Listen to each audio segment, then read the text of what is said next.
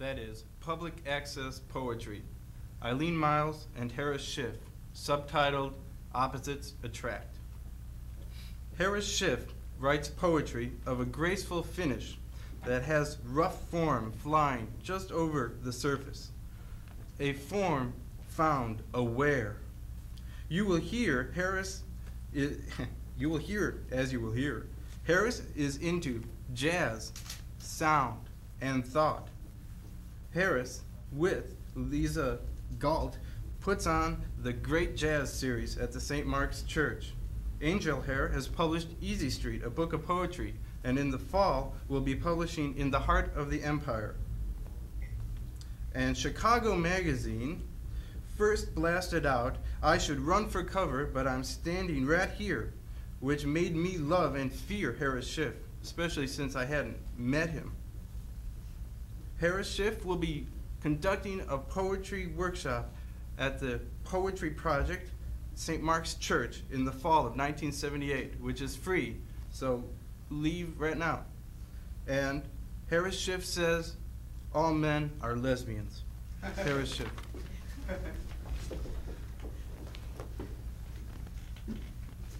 Thanks, Bob.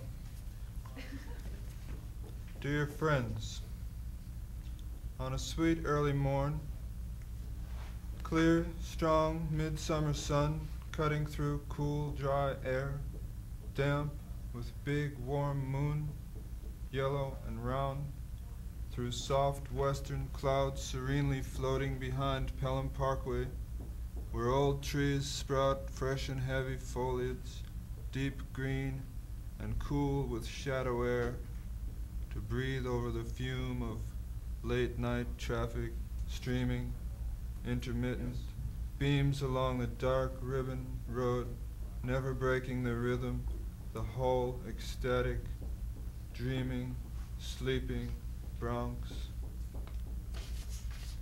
In the heart of the empire, the night sounds tingle the gismatic box, the sensor in the giant sensorium.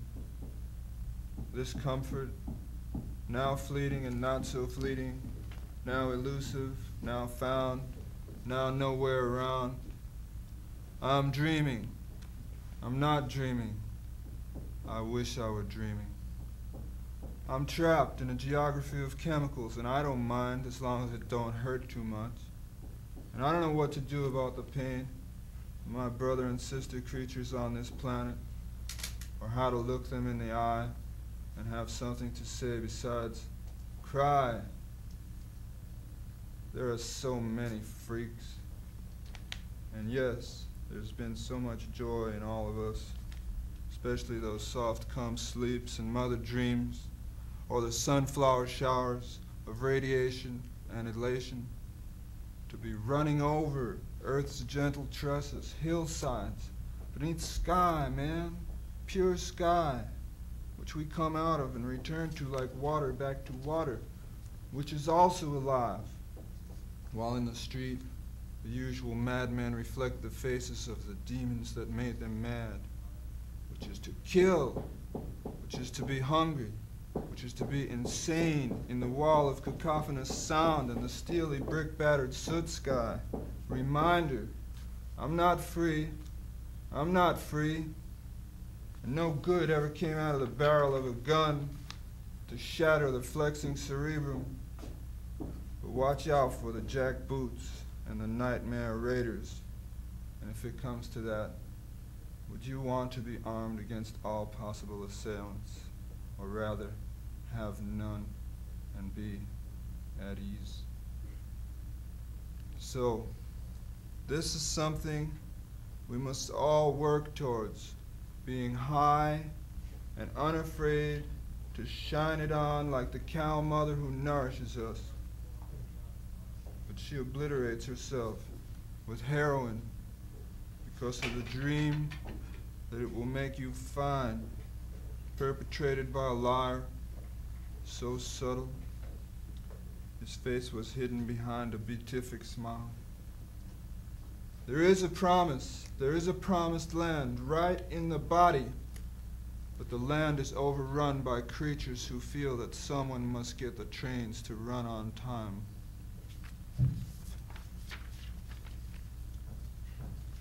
It's a short work called After Marx. The workers are united in their desire to have lunch. Another short work in the same style um, called Whales and Acorns. We ate all the whales, now we're going to have to eat all the acorns.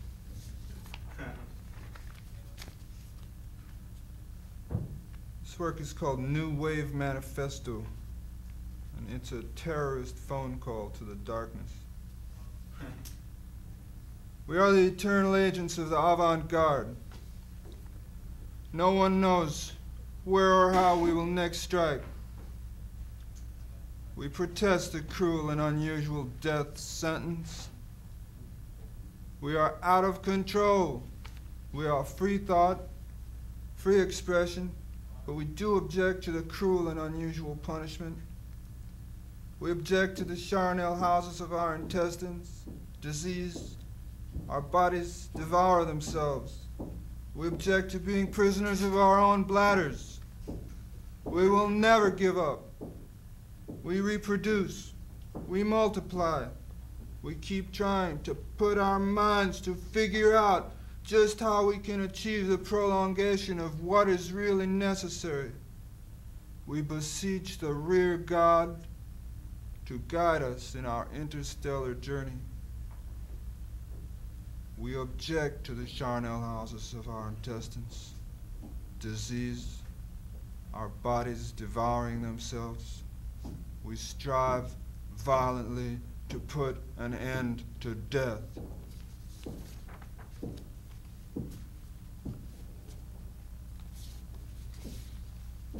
This is a long work in progress which is untitled at present. They is the biggest myth that ever was. My father in law was fond of saying to me during my first and most convincing paranoia. but who can deny that they are watching us? They are destroying the planet. They are among us, and they are using us. We owe them constant money and they are never happy. We is the biggest myth that never was, seems never to will be.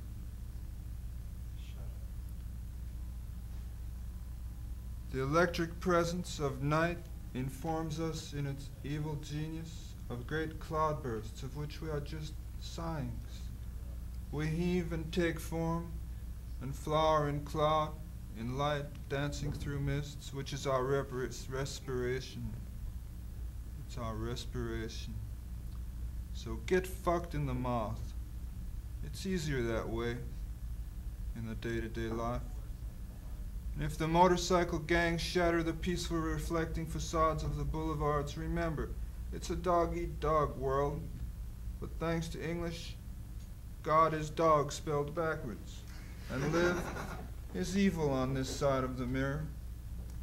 That's why I try to let my hair blow in the same breeze as the stars. You see, although a vain preoccupation of pampered egomaniacs brought me to this position, I attempt to avoid the professorial stance because the exploration must go on. But yes, indeed, I'd like to respond. For from the time our founder coughed himself into the abyss, to today's glib sports and money talk, much the same now as it was then. The formulary music of after dinner speech and the emperor's new clothes have been on parade in this space. The bourgeois cigar separates the riffraff from the ruffians. Ah, it's just a drop in the bucket. The heroes die in railroad yards and drunken rooms beyond the society of mutual adoration. Hard, honest, true, burning with the love of the beautiful, driven to spread it around, they spread it thin across the ugly face of time, vomiting daily this disaster too huge to improve. Dawn seeps through a blue mist over the Ohio flatlands, while the same derelicts who forage through the New York night still stumble around within blocks of the Port Authority terminal, never to escape. The fields are newly plowed, black, the trees budding, delicate, wavy creatures drinking in the haze. The land is radiant with life. And out in the corn flat, every tree is blossoming. Sixteen years ago, where I went to school, same stubbles of corn, same twisting rivulets. And nightly, when the sun is well set, delicately attentive, slightly quivering, there is a poet trying to decipher the riddle of reflection, of the celestial, of the artificial, light in the lake, in the glass. Is the greater virtue of glass transparency or reflection? In a bus station in Mexicali, an ancient Mexican in ancient cowboy hat, dirt and weather stain, plays weeping Aztec bottleneck blues guitar only enough to make anyone hearing stop and listen. No language is only too real to us the living. Eye to eye love knows no words, especially to old men weeping guitar strings for quarter dollars and cinco pesos reminted and reminted in smaller and smaller sizes. In Durango, the campesinos want land or war and get neither, though the war goes on, subtly disguised as government. It's better to be pissed off than pissed on, say the soldiers, laughing and waiting for new orders. They throw up a roadblock and call it customs. Everybody out. Papers, stores, possessions. What for these pills? Vitamins? Just so it says on the label. The power to make changes is modified by local law. Peyote goes in the bin for used toilet paper. And you're back on your way if they finish with you, looking shot at and missed, shit at and hit. The self-immolation continues. A strange way to build a monument or transmit a message. Outside, a hard rain is falling. Under an umbrella, you can listen to it fall.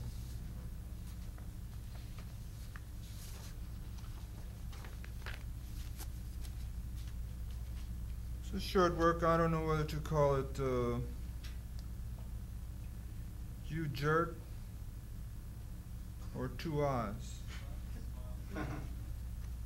you have a hard eye and a soft eye. You jerk like a rabbit when you fall asleep.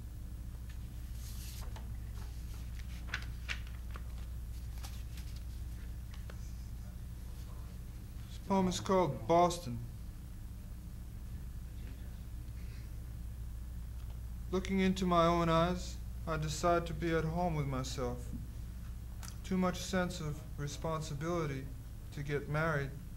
Can't live like an outlaw and that's a poet. A great guy, all heart, knows where he's going, makes you cry.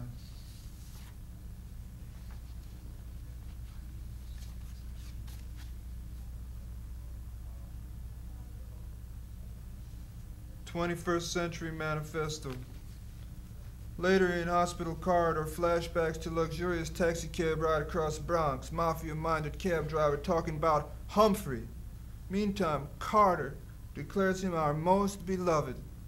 An AMA controlled federal government does nothing about cancer because it makes too much money.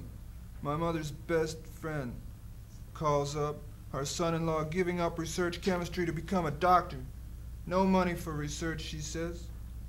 Obviously, we have the keys to get back into the Garden of Eden. So why is it that everyone who tries gets busted for picking the lock? Where is the crash program to perfect the chemicals that will cure the mass insanity and end the state of humanity being just a walking disease? I call on the President to declare the new Manhattan Project for the illumination of the mass human mind, to demolish forever the dictatorship of money and abolish all money grubbing organizations surviving parasitically on earth, animal suffering and pain. Thank you.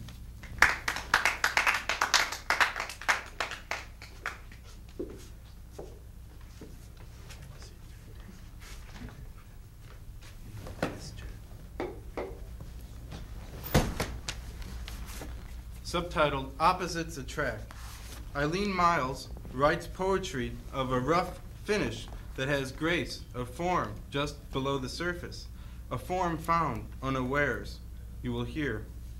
Eileen edits the terrific magazine, Dodgems, which collide into perpetual consciousness, and sometimes Eileen Myles thinks, no, does something about events. The Irony of the Leash is a fabulous book and too real, so to speak. Eileen always has something to say, like, all women are lesbians too. Eileen Myles. The first poem I'm going to read is by an unknown Lower East Side poet called Elizabeth Street, called Spiritual Bird. Finally, I found the paper, searching the room for lines. Intimacy is terrifying, so Friday-ish, like everyone bursting out from work. Real sandwiches in my brain, all these misty meals. Deliver the package downstairs, I call to my servant, and see that the plants are watered in good light. Forsake former tendency to wax museum my sensuality. Play instead the museum pianola or pianette. This piano chord is my intimacy around your great smelling hair, which is parted. Are the stars all closed or just being fucky tonight? My plants have come to life, thanks to trusty servant, Dog Dog. Cloning here in heavy blankets, romancing trees, odd figurines, popsicles from outer space. Mercury had a bad foot on Wednesday, Achilles heel to you, my friend, my foot. I could ask you the same question 14 times, then surrender the question. Go outside and marvel at the bigger problem. Take it to bed with you. Trust me, we're only three blocks from where I want you to be. Three blocks from where I want myself. On a corner it will be raining, I promise. And to the abashment, squiggliness, disgust, and appeasement of all these Roosevelt Islanders, it will be our tramway floating over a teetering river. My ankle can stand up to it if you don't flush halfway there. I am a woman hanging sheets in the wind. I wash my green sheets in the anticipation of spring. She will be breezy, difficult, and suggestive of summer's fever, autumn's wild dying colors, and embracing like bears when the world is white. Cynically doe-eyed, the woman of the year. This one's called Real Trees, and it's for John Ashbery. Wanting only cool summer evening, real trees waving in a wind outside my window. We're strolling through villages looking at all the people, love, hate, splish, splash, a living I can really do without obsessions with movie stars. Summer vacation is sweeping the world. Join me, join me in whispers. An invitation to fly away past possession, misinformation, emotions that make tummy aches.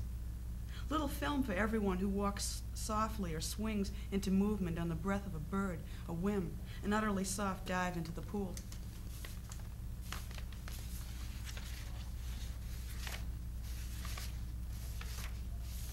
Welsh poetry. Mainly it's the shape of the hills as the old soldier laments. Three blue, three blue cars rush by. In this New York City, all of us are heroes. Whose green eyes upon my tennis shoe? Three birds land upon my fire escape, oh love. My bewilderment is blind, has no season. Three dogs are barking from three blocks away. Cool August wind blows through my sly silver screen. The year is lightening. Hush, hear the dogs again. The old bear song. April is a foolish month. May is brightful, encouraging. June, July, the gruesome twins. August, sitting on an old blue beach chair, basks in nostalgia belonging to September. Violent October shrieking into sleep, November, December, January going both ways, short-changing February, plucking small hairs on the underbelly of March. Um, this one's called Your Poem. I would break the ice. I would be Harry Houdini as he desperately burst his head up through the frozen Hudson. Magician, bullshit. I'd be fucking dead if I stayed in that trunk, unbuckling handcuffs, rearranging my priorities. I don't know what Harry was driving at. I'd imagine the sail under the frozen river a truly unique experience. Gentlemen of the Bowery thrive on lifting one element to their mouths, reduces things like Harry to one element, breathing to be the whole trip. Harry keeps unbuckling. Show me your latest manner of undoing the grasp. I would break the ice to it. Quite dead, a strange proposition. Quite a moment to insert in your poem. Every fiber in your eye gone blind. Death might not be black, though. It might be a blinding explosion inside pure light. Internal rhyme. In back of your personality is a green tree, upon which grow your dreams, into which flows your sex. Outside of all this is you growing hair. You can barely hear it. If a wind rustles by, you hear a singing in the skies. Clouds sail past like sheep boats, and everyone knows what those are. Or in back of your personality may be something different. I would never dream to be a dictator, tyrannical. See, you might have a singing tree, bright yellow apple, or a bunch of blue grapes. I do not pretend to be wise or visionary. I know what I think would be pretty inside of me.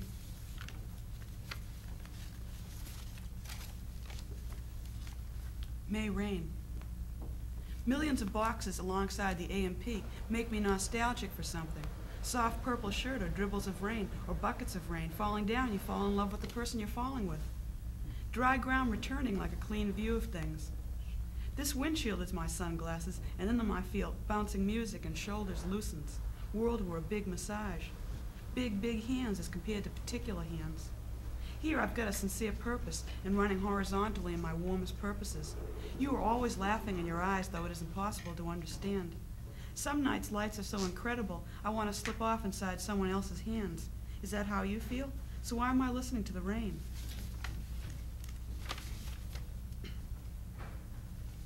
Palest blue. Long, shapeless days of adolescent longing. The trees out there are nearly pretty, waving green tendrils moving the cool along. Think I'll hop down there tonight.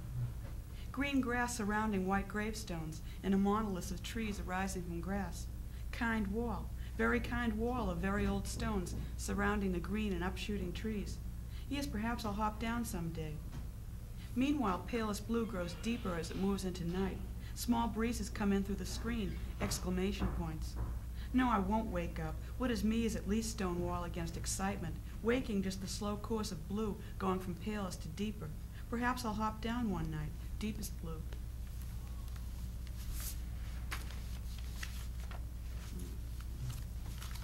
Scuppy the Sailor Dog. I was just thinking about influential books in my life. Most of them were illustrated. I am thinking about one in particular right now, unmootly titled Scuppy the Sailor Dog. The plot was or is a little vague. Scuppy was a wandering sort of dog. Sailed the seven seas, made cameo appearances in various spots, one of which comes to mind is Turkey. Scuppy is standing in a sort of Medina where he purchases a pair of purple slippers with curled up toes. How astonished I was at the thought of a dog inserting his paws in such shoes. Scuppy is never shown actually wearing the shoes. They do appear in one scene in Scuppy's small, mildly lit bunker. At this point in his life, it seems Scuppy is in ownership of his own small tug. He is lying on the lower bunk of a two-decker and is quite alone, and somehow you feel he is alone on the entire boat. It is his boat. Yet the lighting is all right.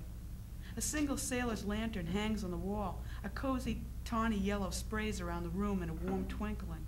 The purple shoes lie discreetly at the foot of his bunker, his striped sailor shirt folded neatly on a small single wooden chair. He's asleep at this point, with an ever so slight smile coursing his mouth, more of a glow than a smile. Having good dreams, other places, countries, infinite new shoes to buy, and strange people to purchase from. It is night, of course, and the boat is softly at sea, moving on its own correct course storm free and guided by Scuppy, smiling at his dreaming.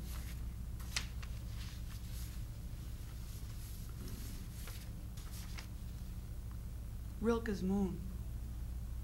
Once again, I feel like a dog moving out into something very broad, not some vision with ready arms like a glowing statue to catch me in my fall, or a home which is where I stay still and assured. The artificial lights of night are making me quiver, and night itself is a giant imagined house I can walk around before a life I grow into. Books with their patches of here and there are ready nets, and often at night I bounce on their discourse. Smoke wavers towards lamplight. I wanted to call you before I slept, then I slept and didn't dream. Waking was different tonight. Inside light is dark. It was so bare. I felt like the light was my white body. No way to be outside of a star. I think of months as moths flapping around this place. This place. Days notching the stillness. Minutes, hours. I won't bore you with the breakdown. In some fissure through which planets are flung, my moon is rising. Softly, softly. It is no dream. I fear I am being born.